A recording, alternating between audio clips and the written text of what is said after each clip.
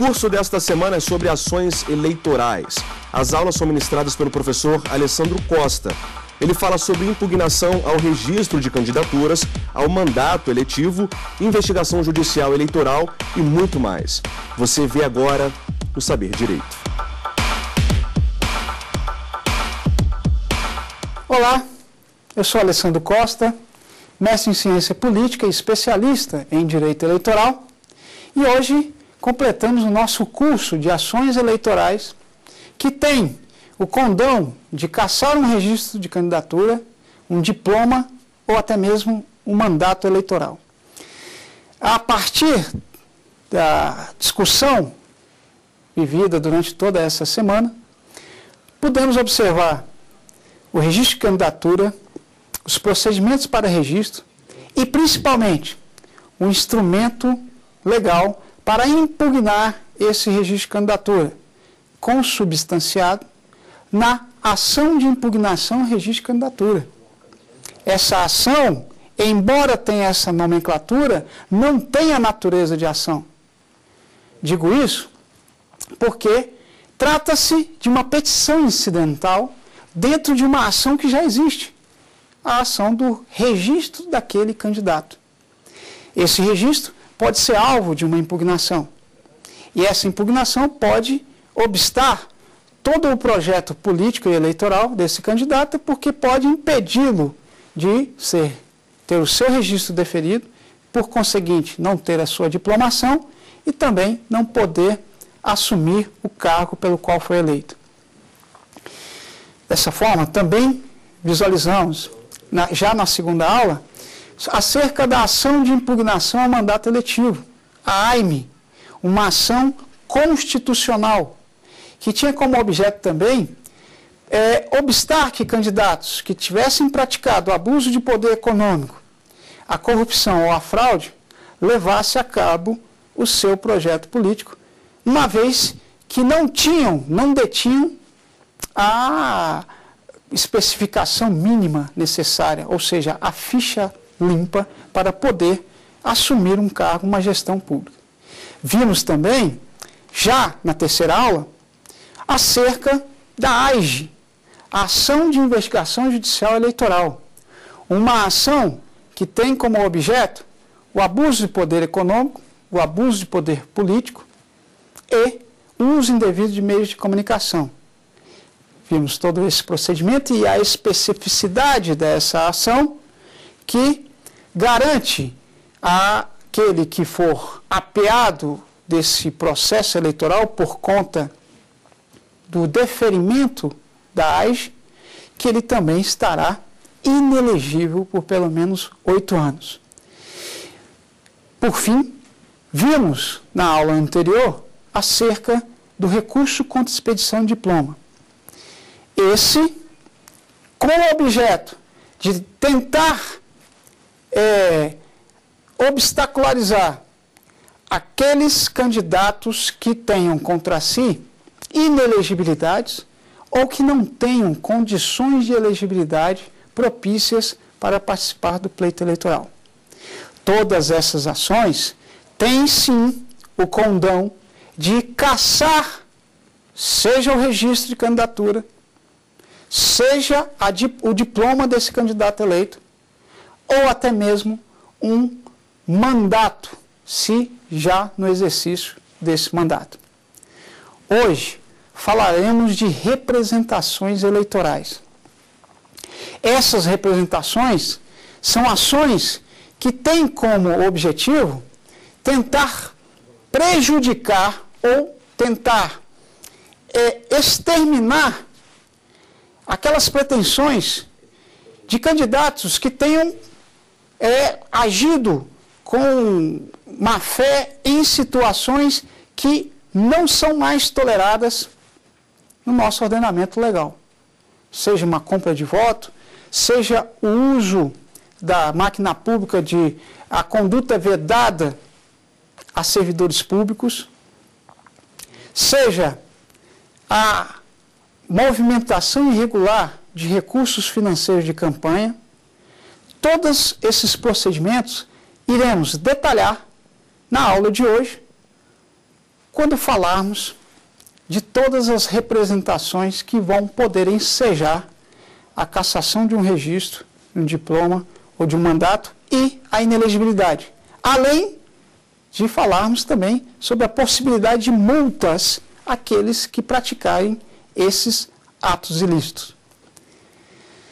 Mais uma vez, eu repiso que o objetivo dessas ações, a previsão legal, objetiva tutelar a normalidade das eleições, fazer com que a corrida eleitoral seja pautada em é, programas e propostas, não em benefícios, não na troca de votos por um cargo.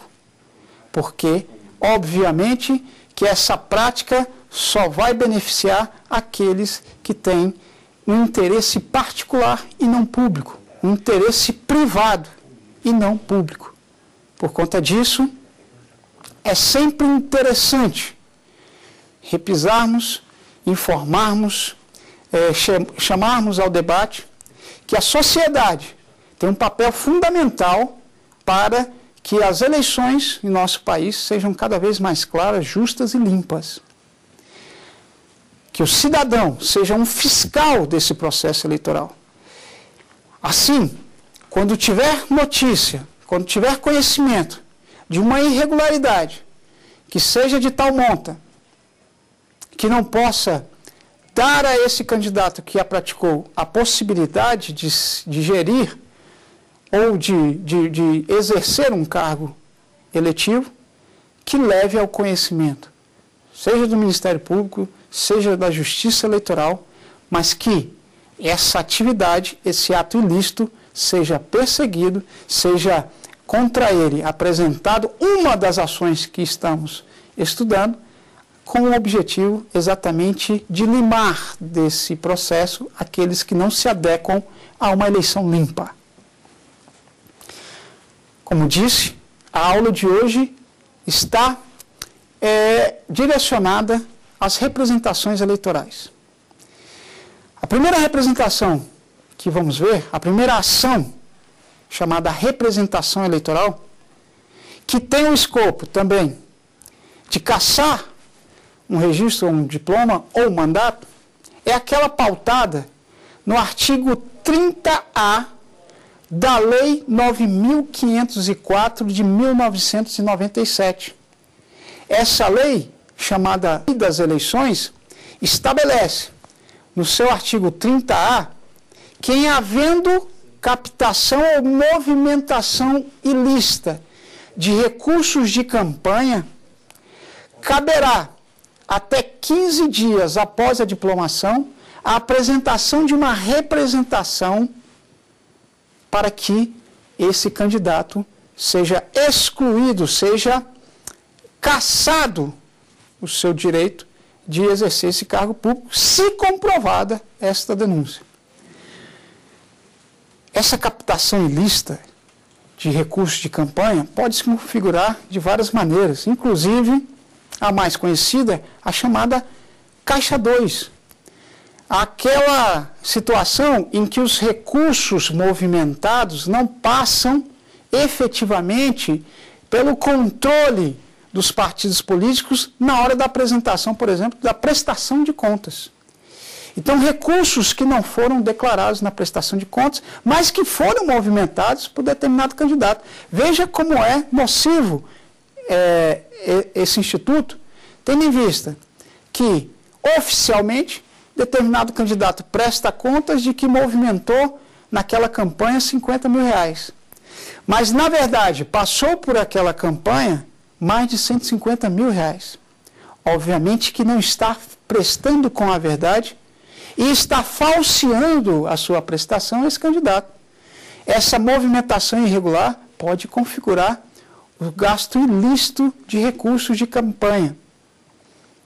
Ainda, um partido que tenha arrecadado recursos de campanha de entidades que não podem financiar, por exemplo, a partir da Lei 13.165, 13165 de 2015, a chamada mini reforma eleitoral, não podem mais as empresas, as pessoas jurídicas, doar, financiar campanhas.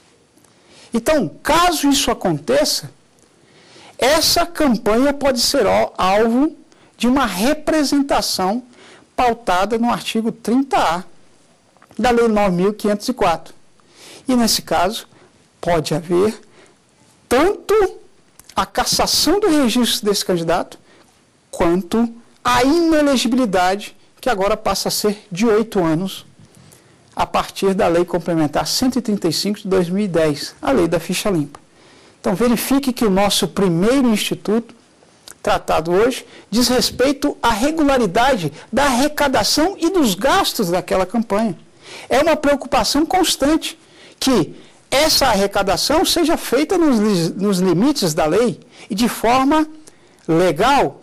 Não se pode, por exemplo, aceitar doações por expressa vedação, legislação é, eleitoral de entes internacionais, de empresas internacionais.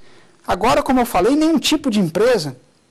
Mas já antes dessa determinação de que as empresas não podem doar, de que as pessoas jurídicas não podem doar, já havia proibição de que organismos internacionais pudessem subsidiar uma campanha eleitoral.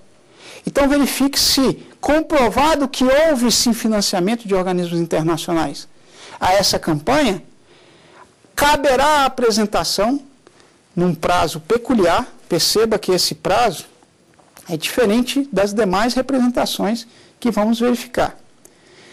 Nesse caso, da representação por captação e gasto ilícito de campanha, de recursos de campanha, previsto no artigo 30A da 9.504, o prazo vai até 15 dias após a diplomação. Outra representação muito importante é a que diz respeito à prevista na legislação eleitoral, mais especificamente na Lei 9.504, de 1997, no seu artigo 41A, que diz respeito à captação ilícita de sufrágio. A captação ilícita de sufrágio é materializada numa compra de votos. A compra de votos é um ato tão nocivo quanto antigo na história das eleições do Brasil. Mas não por isso não mereça menos combate efetivo. E é o que tem sido feito. A captação ilícita de sufrágio, ou mais comumente chamada compra de votos, é a troca de um voto por um valor econômico ou um bem. Determinado político promete a um eleitor que vai lhe dar um par de botas se votar nele. Captação ilícita de sufrágio. Um político que promete, promete asfaltar toda a comunidade, as ruas daquela determinada comunidade, se a comunidade se comprometer a votar nele para que ele seja eleito. Captação ilícita de sufrágio compra de voto. Por que é que se denomina captação ilícita de sufrágio? Porque há uma forma, sim, lícita de se captar sufrágio. Há uma forma legal de se captar o sufrágio do eleitor, o voto do eleitor. Essa forma é aquela que angaria votos a partir de propostas. Ouça, eleitor, as minhas propostas, caso seja eleito, dizem respeito a fazer tais e tais e tais atos, não atos pontuais de benefício a entes personalizados, específicos, com o intuito tão somente de angariar votos, mas um projeto de governo, ou um projeto de gestão, um projeto que me qualifica, por exemplo, a ser o seu representante na Câmara dos Deputados, na Câmara na, na Assembleia Legislativa, mas angario de forma lícita esses votos, porque eu estou trocando, entre aspas, esses votos por propostas. Não estou trocando votos por benesses. Não estou trocando o voto por benefícios pessoais. Essa troca de, de votos por benefícios pessoais é a que é perseguida pelo artigo 41A. Nesse momento, acho adequado que comecemos a nossa primeira participação de hoje. Meu amigo ou a minha amiga o cidadão que participa do programa e tem dúvidas a serem esclarecidas. Vamos a essa pergunta. Um candidato pode perder o mandato se for condenado por compra de votos? Compra de votos, esse, é, é, essa matéria que estamos agora debatendo, tem como sanção a cassação do, do mandato desse candidato, que eventualmente tenha sido eleito é, por compra de votos. Além disso, há a possibilidade de multa, que seja impetrada a ele uma multa eleitoral, e também ficar inelegível por oito anos. Então, a, a, pergunta que nos foi feita é a, a possibilidade de cassação de mandatos daquele que compra votos? Sim, há. E não é raro, não é incomum. Cada vez mais a fiscalização, seja do próprio cidadão, seja do Ministério Público, seja dos, sejam dos entes ligados à justiça eleitoral, é mais eficaz e mais severa sobre esses atos. Porque se consubstancia numa atividade altamente reprovável.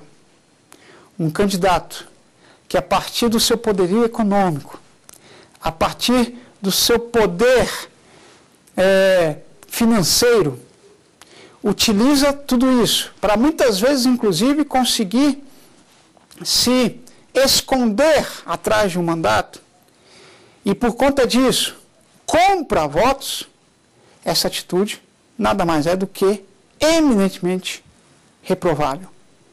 Tão reprovável que a partir do estabelecido no 41A da Lei 9.504, no artigo 41A da Lei 9.504, tem como sanção a cassação do mandato, multa e inelegibilidade, que, como já vimos, é a impossibilidade de que esse candidato permaneça disputando eleições, que tenha seu registro deferido, que possa exercer algum mandato eletivo, enquanto não for suspensa ou acabar a sua inelegibilidade. Que, como vimos, a partir da lei complementar 135 de 2010, lei da ficha limpa, passou a ser de oito anos. Inelegibilidade de pelo menos oito anos. Eu digo pelo menos porque há situações em que a inelegibilidade ela vai começar a fluir a partir, inclusive, do final do mandato daquele parlamentar que foi é, sancionado, que foi alvo de uma, uh, de uma ação eleitoral que, ao final, resultou no seu provimento e na cassação daquele mandato.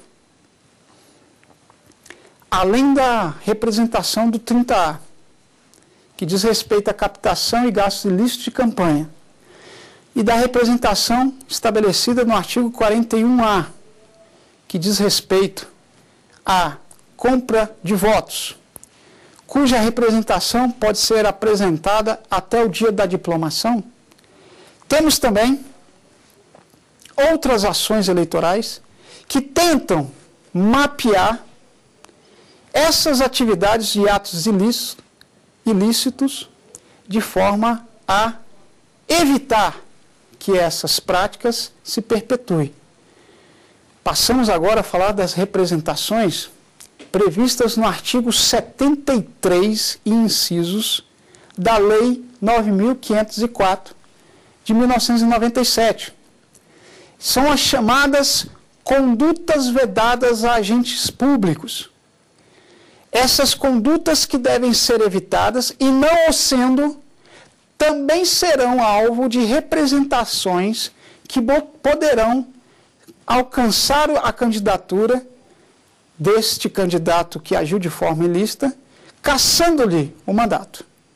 Para isso, vamos verificar o normativo e a espécie na sua literalidade, de modo a que possamos identificar a partir daí quais são os ilícitos especificados nessa vedação legal.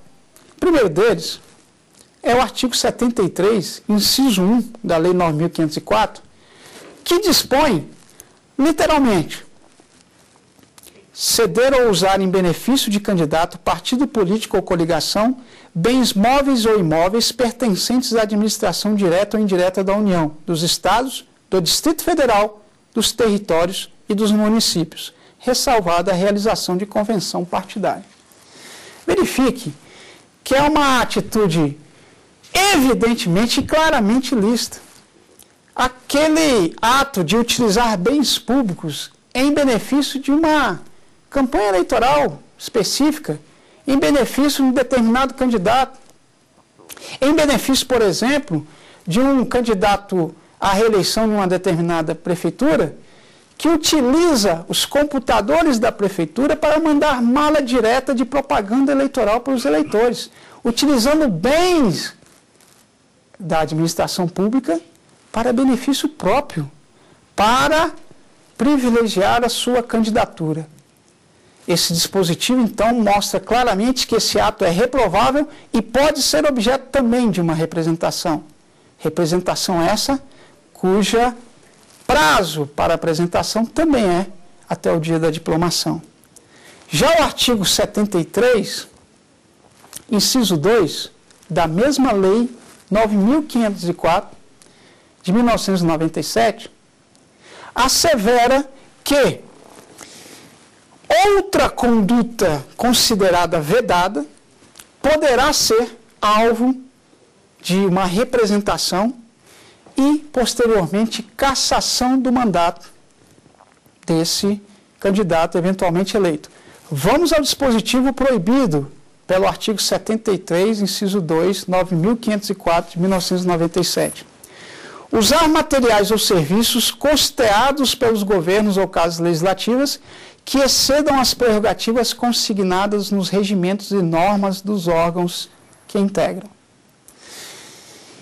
Veja, aqui o que se está fazendo é utilizar materiais de que se tem acesso pelo cargo que ocupa para tentar se beneficiar numa eventual campanha eleitoral, por exemplo. Imaginemos o seguinte: imaginemos que determinado parlamentar tenha acesso a uma cota para expedir um boletim informativo sobre os atos da sua atividade de parlamentar. Mas nesse caso, esse parlamentar utiliza essa cota a que tem direito para expedir esses boletins, não para dar ao eleitor informações sobre a sua atividade parlamentar, mas para fazer campanha eleitoral. Ele utiliza então cota que tem direito pelo exercício parlamentar, então bem público, para fins pessoais, para o fim de privilegiar a sua candidatura. Também aí patente que essa conduta deve ser vedada ao agente público e, por conta disso, cabe à representação eleitoral de modo a cessar ou extirpar esse tipo de conduta do ordenamento do, do processo eleitoral. Ou seja, eventualmente, tendo contra si uma representação por esta atividade, esse candidato poderá ter o seu mandato cassado. Vejamos ainda, prosseguindo quanto às condutas vedadas aos agentes públicos previstas a partir do, artigo 73 da Lei 9.504, inciso, vejamos mais uma conduta vedada. Agora, a disposta no inciso 3 do artigo 73. ceder servidor público ou empregado da administração direta ou indireta, federal, estadual ou municipal, do Poder Executivo, ou usar de seus serviços para comitês de campanha eleitoral, de candidato, partido político ou coligação, durante o horário de expediente normal, salvo se o servidor ou empregado estiver licenciado. Veja que a atividade aqui, ela se materializa no sentido de que, por exemplo, um prefeito, ele libera servidores da prefeitura para que montem, por exemplo, um palanque eleitoral onde posteriormente será realizado um comício desse mesmo prefeito. A liberação e uso desses servidores da prefeitura em prol da sua candidatura, do seu benefício pessoal enquanto candidato, também, e até mesmo a atividade desses servidores, é obviamente uma conduta vedada. Essa conduta vedada pode significar a cassação desse mandato. Pode significar a inelegibilidade desse candidato e de todos aqueles que colaboraram por, para esse ato ilícito. Mais uma vez, estamos tentando aqui mapear possibilidades que a legislação eleitoral levanta de condutas que devem ser alvo de, obviamente, ações que visem é, obstar atitudes tão nefastas. Continuando, ainda falando sobre as condutas vedadas, o artigo 73 da, da Lei 9.504 de 1997 ainda dispõe, no seu inciso 4, o seguinte: configura uma conduta vedada fazer ou permitir uso promocional em favor de candidato, partido político ou coligação de distribuição gratuita de, bens e serviços de caráter social, custeados ou subvencionados pelo poder público. Essa é uma prática, infelizmente, ainda comum nas eleições, sejam elas municipais ou gerais. Essa, essa, essa prática pode se materializar, por exemplo, no fato de que um serviço, um programa social, que já vem sendo desenvolvido há muito tempo naquele município por parte da prefeitura, aquele prefeito entenda que naquele ano eleitoral essa ação social vai estar vinculada a uma ação eleitoral. Como seria isso? Imaginemos que essa prefeitura tem um programa social de distribuição de cestas básicas para a comunidade carente. Esse programa social é um programa que já vem sendo executado há muito tempo. Mas naquele ano eleitoral, a distribuição de cestas básicas é vinculada à distribuição de santinhos, de propaganda eleitoral daquele prefeito, que porventura seja, por exemplo, candidato à reeleição. Então ele entrega a cesta básica, ao mesmo tempo que entrega a propaganda eleitoral. Há uma clara interferência indevida é, dos agentes públicos, sejam interpostas pessoas ou os próprios candidatos, que estão distorcendo a natureza do programa social, praticando uma conduta vedada que, obviamente, vai estar denegrindo e aviltando o prosseguimento normal e as chances de que cada candidato tem. É obviamente que ele estará sendo privilegiado. Suas chances aumentam porque ele está praticando uma conduta em seu próprio benefício e em razão ali, nesse caso, do próprio caso, do próprio cargo que ele exerce. Mais uma vez, caberia representação eleitoral que teria sim condão de caçar-lhe eventualmente o mandato, torná-lo inelegível. Avançando ainda sobre condutas vedadas, vamos ao artigo 73, inciso 5 da Lei 9.504, que diz respeito à nomeação ou contratação é, de pessoas durante um ano eleitoral. Essa prática, obviamente, que pode configurar um benefício àqueles que têm a, a possibilidade de adentrar ao serviço público. Mas se essa prática, se essa contratação tem esse caráter eleitoral, pontual, é obviamente uma contratação irregular, uma conduta vedada. Acho que já é uma, a hora de novamente chamarmos a participação os nossos amigos que, e amigas que participam do programa, trazendo questionamentos que servem para robustecer o debate acerca de ações eleitorais. Em sendo assim, vamos apresentar a segunda pergunta do programa de hoje. Vamos a ela. Até que valor eu posso doar para uma campanha eleitoral? A questão de doação para a campanha eleitoral. Ao longo das aulas, inclusive, já falamos especificamente da vedação da doação de empresas, de pessoas jurídicas, às campanhas eleitorais, financiamentos de campanhas eleitorais. Mas subsiste ainda a possibilidade de que um cidadão, uma pessoa física, possa sim doar para campanhas que ele repute importantes, da quais, das quais os projetos que são apresentados lhe são muito favoráveis. Ele simpatiza com um programa apresentado por determinado candidato. Por conta disso, tem interesse que esse candidato seja eleito. A partir dali, a partir da sua condição financeira, ele quer doar para essa campanha. A pergunta que foi feita é: quanto é que ele pode doar para essa campanha? Bom, a legislação eleitoral, a Lei 9.504, de 1997, no seu artigo 23, estabelece que a pessoa física pode doar para a campanha eleitoral até 10% do rendimento bruto que ele tenha declarado no ano anterior ao da eleição.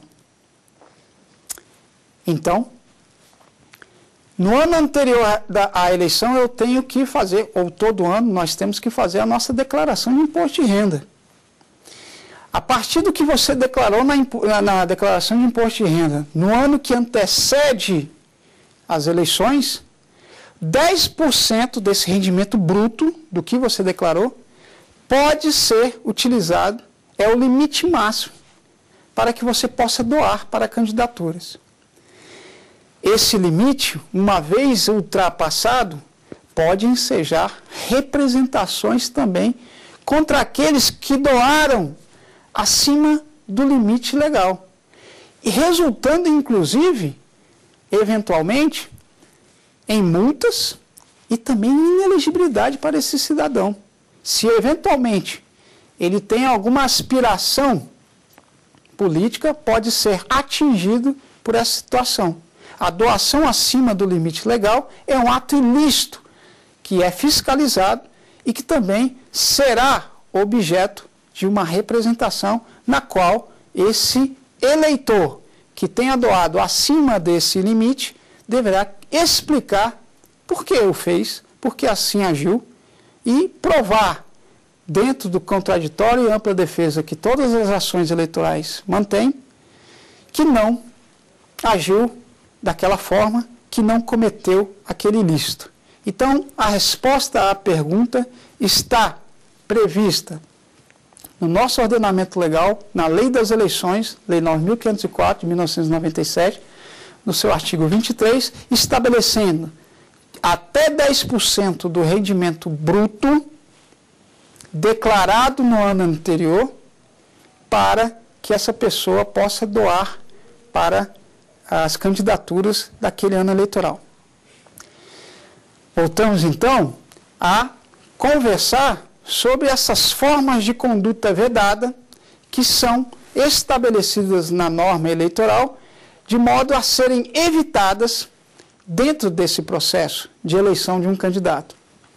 Passamos agora ao artigo 73, inciso 6 da Lei das Eleições, a Lei 9.504 de 1997. Nesse mistério, o artigo diz respeito à transferência voluntária de recursos da União aos estados e municípios e dos estados aos municípios, sob pena de nulidade de pleno direito, ressalvados os recursos destinados a cumprir a obrigação formal pré-existente. Eu estou falando aqui de uma transferência voluntária da União aos estados e desses aos municípios no ano eleitoral que pode consubstanciar aí uma atitude eleitoral. É interessante verificar também a linha B desse mesmo artigo inciso, que diz o seguinte: com exceção de propaganda de produtos e serviços que tenham concorrência no mercado, também consubstancia uma conduta vedada autorizar publicidade institucional dos atos, programas, obras, serviços e campanhas dos órgãos públicos. O que é uma propaganda institucional? Propaganda institucional é aquela em que o órgão público, ele informa ao cidadão situações que ele necessita ter conhecimento por uma questão de cidadania e até mesmo de saúde pública. Por exemplo, uma propaganda institu institucional de uma prefeitura que informa ao cidadão, aos cidadãos onde será realizada a vacinação contra o surto, por exemplo, de cólera? É uma propaganda institucional, o Estado informando ao cidadão que ele tem tais e tais postos à sua disposição para realizar essa vacinação. Essa propaganda não pode ser transformada numa propaganda que seja eleitoral, cujo objeto não é mais informar o eleitor sobre um serviço de utilidade pública, mas informar ao eleitor a vinculação desse candidato a esse serviço de utilidade pública. Ou seja, marcar a presença desse candidato dentro dessa propaganda, vincular o candidato a essa propaganda. Dessa forma, obviamente, que esse candidato que tem esse benefício por conta do cargo que exerce, estará sendo beneficiado nessa corrida eleitoral. Essa conduta, portanto, é também uma conduta vedada ao agente público, passível de também uma cassação do registro e inelegibilidade, tanto do responsável quanto do próprio candidato que participou dessa atividade ilícita. Ainda nesse inciso, ou inciso sexto do artigo 73 da Lei 9.504, estabelece que a linha C é uma conduta vedada fazer pronunciamento em cadeia de rádio e televisão fora do horário eleitoral, salvo quando a critério da Justiça Eleitoral tratasse de matéria urgente, relevante e característica das funções de governo. A necessidade de um pronunciamento em rádio cadeia de rádio e televisão, ela tem que ser justificada, não só no momento eleitoral, mas sempre que o mandatário tiver uma necessidade, uma urgência de informar aos cidadãos, ele poderá solicitar essa cadeia. Entretanto, no período eleitoral, essa formação de cadeia, e principalmente quando maculada e maquiada de propaganda é, informativa, mas transformada sutilmente em propaganda eleitoral, é obviamente também uma conduta que merece reparação. Aí também a previsão, então, legal de que, se não houver uma justificativa prévia, autorização de, da Justiça Eleitoral, essa formação de cadeia de rádio e televisão não poderá ser efetivada.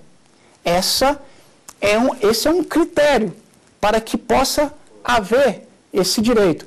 Porque se houver uma urgência, por exemplo, uma calamidade pública, em que haja necessidade de que o Estado é, informe a pessoa, seja do prefeito, do governador, do presidente, sobre atitudes que devem ter, ser, ser, tomadas pelos cidadãos, que dizem, digam respeito, por exemplo, à saúde pública, evitar determinados locais, é, terem de, determinados cuidados para que uma epidemia não se alastre, desde que esse pedido seja precedido de autorização da Justiça Eleitoral. Nesse caso, não configuraria uma conduta vedada.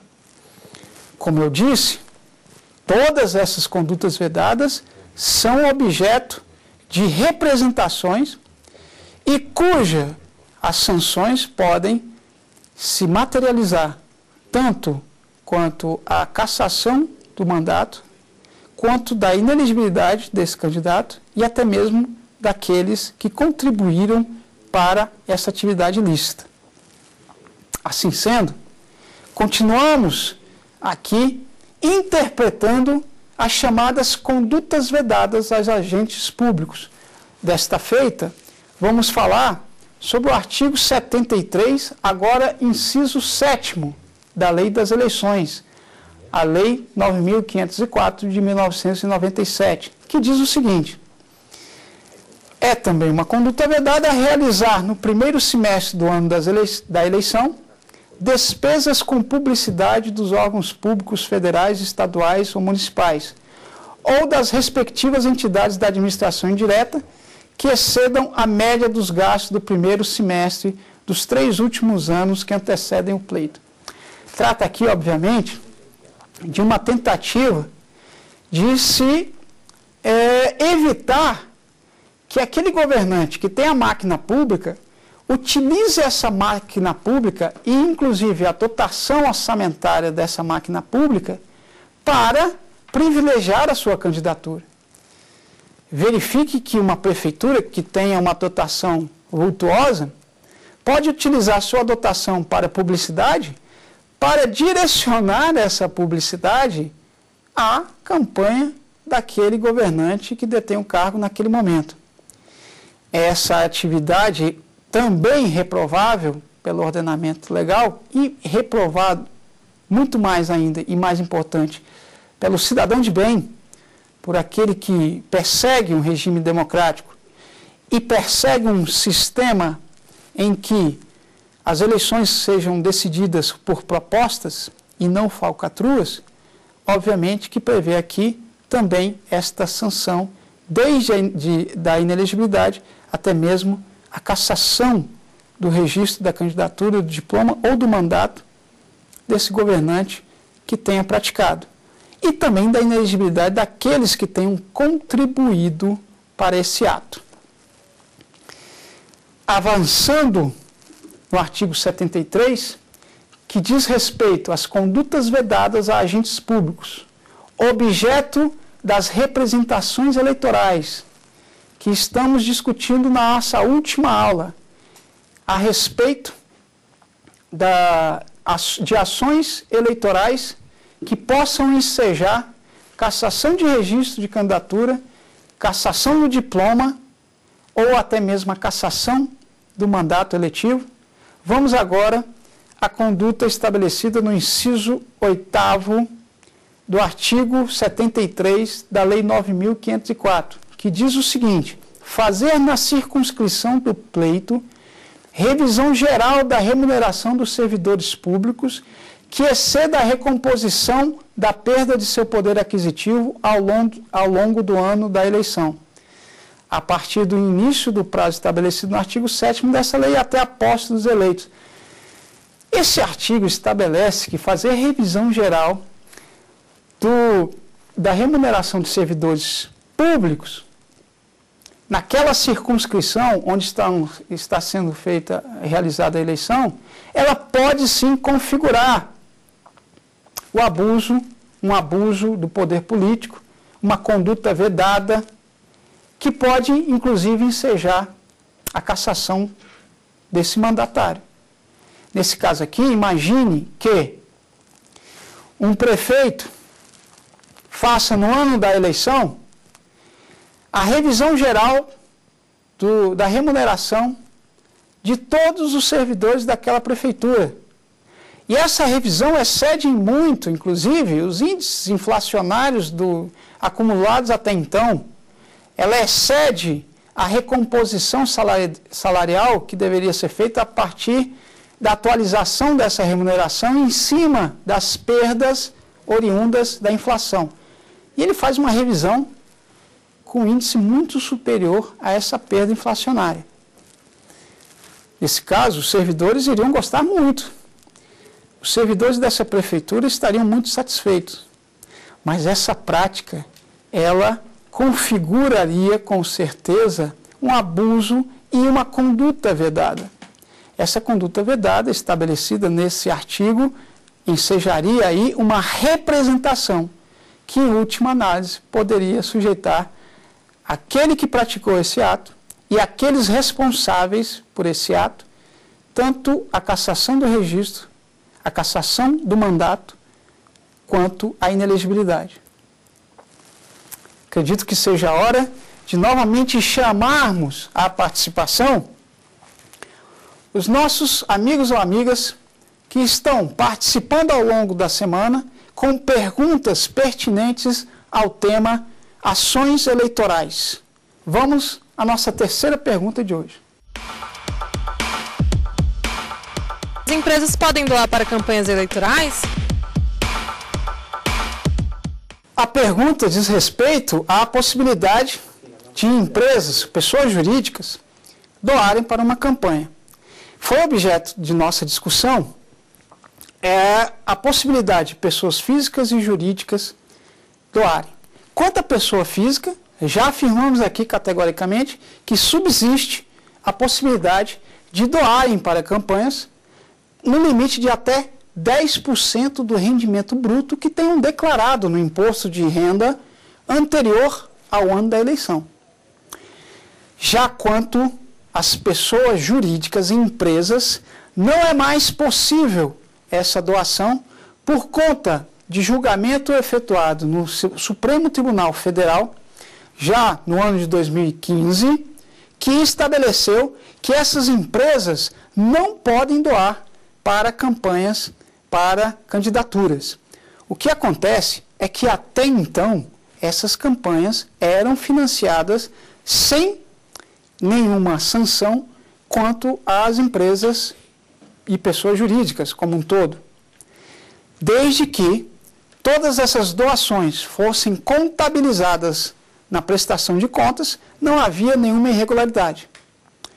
A partir então de 2015, então já vigente para as eleições de 2016, não há mais, como dito aqui, a possibilidade de doação de empresas às candidaturas. O financiamento das candidaturas deve ser agora feito a partir dos partidos políticos, a partir de doações de pessoas físicas ou pessoas naturais, no limite de até 10% do seu rendimento bruto, mas não podem mais conter a doação de pessoas jurídicas, sob pena, inclusive, de ensejar uma ação que já discutimos aqui, que é a ação prevista no artigo 30A da Lei 9.504 de 1997, que fala de captação e gastos ilícitos de campanha.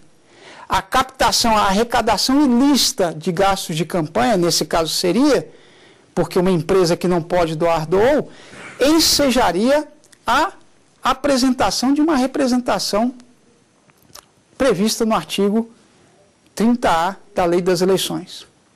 Eu aproveito esse momento para encerrarmos a, as disposições previstas no artigo 73, que diz respeito às condutas vedadas.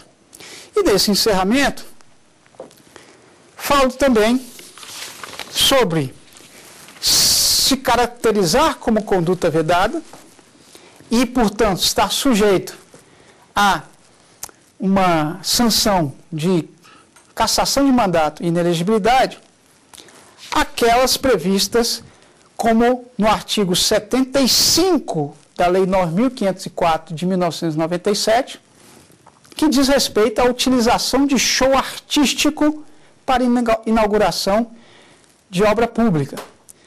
E também aquela prevista no artigo 77 do mesmo normativo, que afigura que a presença daquele gestor em inauguração de obra pública naqueles três meses que antecedem a eleição é vedada, sendo por isso uma conduta que pode ensejar uma representação que, em última análise, cassaria aquele mandato e tornaria esse mandatário cassado em inelegível. Na aula de hoje, a que encerra o nosso curso, nós falamos das principais representações eleitorais que podem ser manejadas para evitar condutas lesivas ao processo eleitoral. Essas condutas podem ser é, apresentadas durante a eleição de forma a que sujeitem aquele que as praticou na cassação do seu registro e na inelegibilidade. Essas condutas, verificamos, estão previstas, em regra, na lei das eleições, na lei 9.504. Vimos também que a representação pela, pelo eh, disposto no artigo 41A da lei das eleições, que diz respeito à compra de votos, pode ensejar, além da inelegibilidade, da cassação do registro, também multa.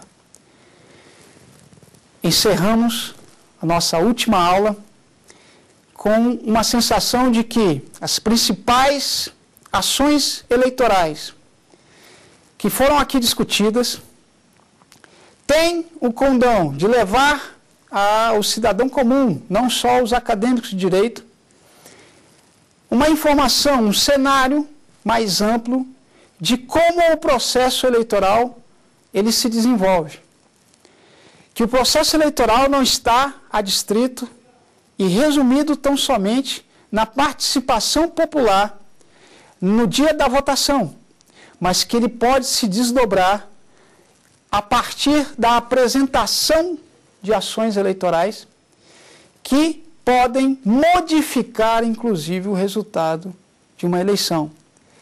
Aquele candidato que tenha cometido alguma da, da, daquelas irregularidades pode ser objeto desta cassação da ineligibilidade.